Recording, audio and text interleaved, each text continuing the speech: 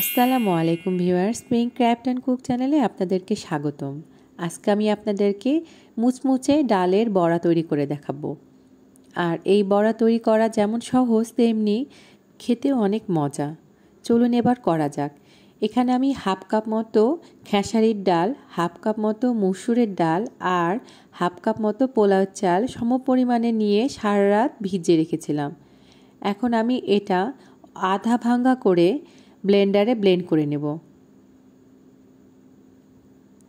আমি খুব সামান্য পরিমাণ পানি দিয়েছি এই ব্লেন্ডারে ব্লেন্ড করার জন্য। আপনারা শিলপাটাতেও এভাবে বেটে নিতে পারেন। আপনারা এভাবে নাইনটি পারসেন্ট ব্লেন্ড করে নেবেন। এখানে আমি কিছু পরিমাণ মরিচ গুঁড়ো, মরিচ কুচি, রসুন কুচি, পেঁয়াজ কুচি আর লবণ আর হলুদ নিয়েছি।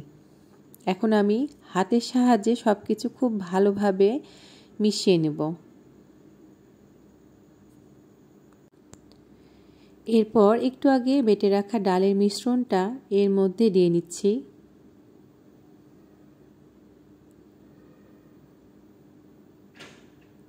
এখন আমি সব কিছু খুব ভালোভাবে মিশিয়ে নেব।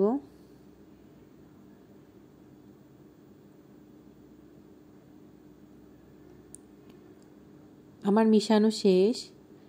এখন একটি প্যানে পরিমাণ মতো তেল আমি গরম করে নিচ্ছি।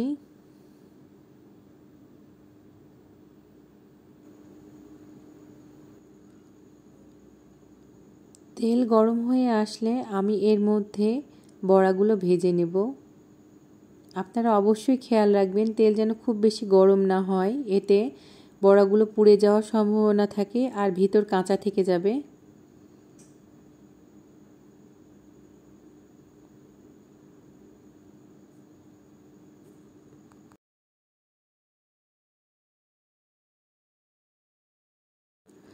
বড়াগুলোর এক পাশ ভাজা হলে আমি অপর পাশটা উল্টে নেব।